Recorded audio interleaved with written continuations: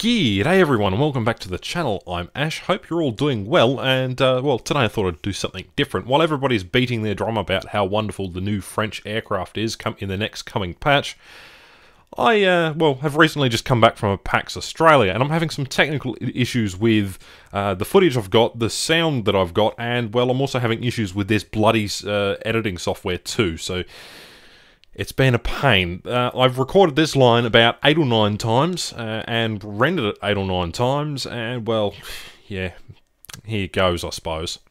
This is the DB7. It's a French, well, American French aircraft, uh, and I have it painted in circus camouflage. The Vichy French camouflage is a wonderful thing. Uh, but that's a bit off topic. Today's video is going to be uh, a Tech Tree showcase. Well, I say Tech Tree showcase, I mean, it's, it's my progress within War Thunder.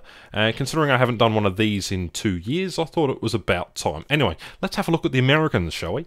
So, this is the American tree, and the American aircraft tree, uh, I'm currently mostly up to date. I've got everything up to tier 4, excluding the new vehicles. So I've got a couple of holes here. I've got to get the new Corsairs, the A26 and the P51H.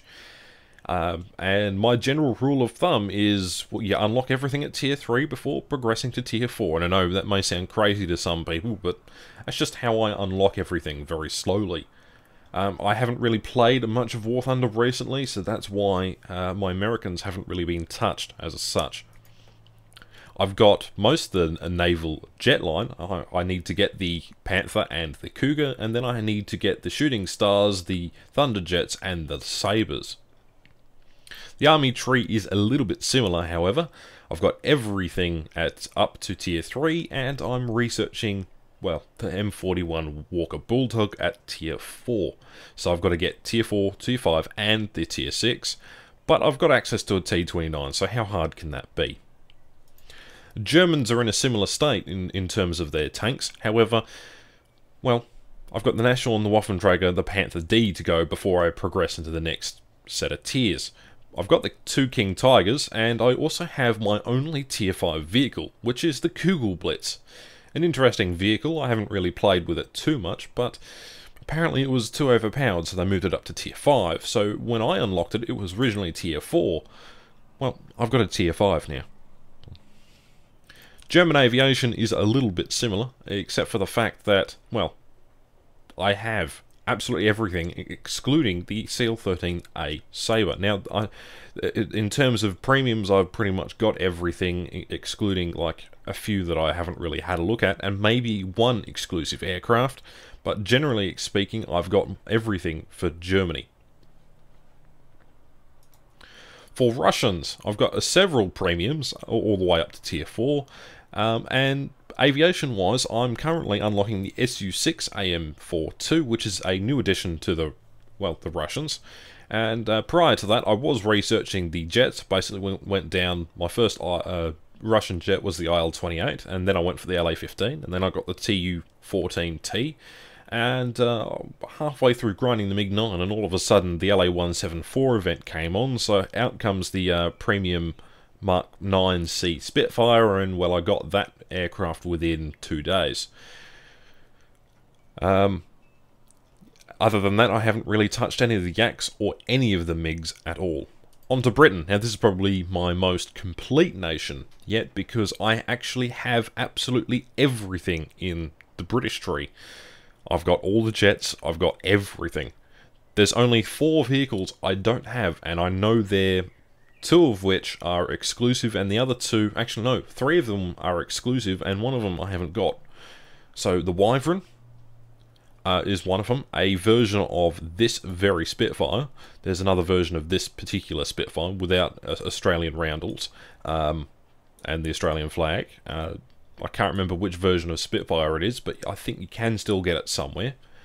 Um, and then a vehicle that is similar to this. This is the D521 but there is a D520, which is a French uh, aircraft that's currently in the game.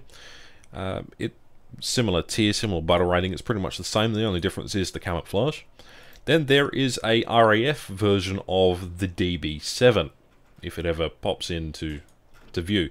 There is an RAF version of this very aircraft, and uh, I don't have that.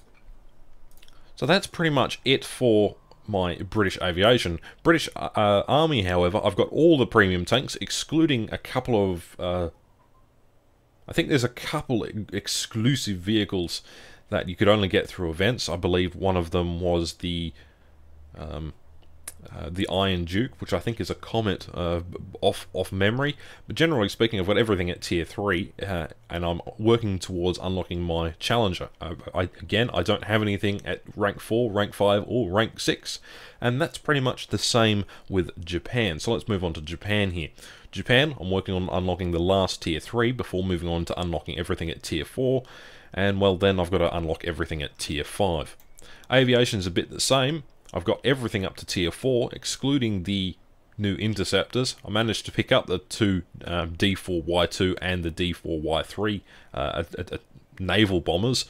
And uh, then I've got to unlock everything at tier 5. I'm going to probably unlock everything through the KI 200, then go down the R2Y2, and then probably down to the towards the Sabre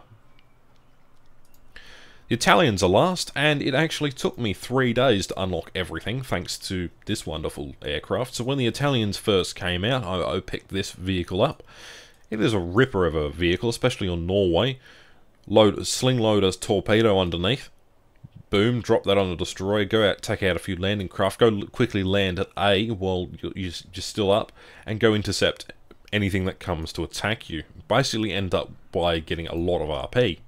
So I've got everything in the Italian tree, including the new S81, which they introduced last patch. Um, yeah, I've got everything in the Italian tree, including all the premiums. And when the tanks come out, I'm probably going to do the same, just because I'm now more of a collector. So yeah, in short, that's what I'm up to. Hopefully I didn't talk too fast or say too many ums and ahs. War Thunder has progressed pretty quickly. I've got most of everything. It's just the tanks now that I'm really working on. Uh, particularly high tier tanks. I've got most mid tier tanks, uh, and I need to work on high tier aviation in most of my prospective nations.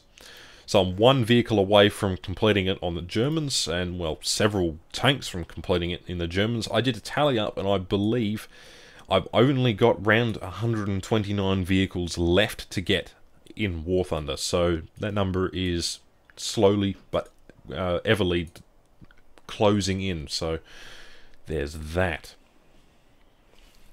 So anyway, just a quick video, just updating you on my tech tree progress as of uh, October 2017. Probably do this again in a year to see what I'm up to, um, if if I progress if any, because I'm starting to really enjoy some racing sims and playing a lot of Arma 3. Recently got a a, a loaner graphics card in there, thanks Deadmeat.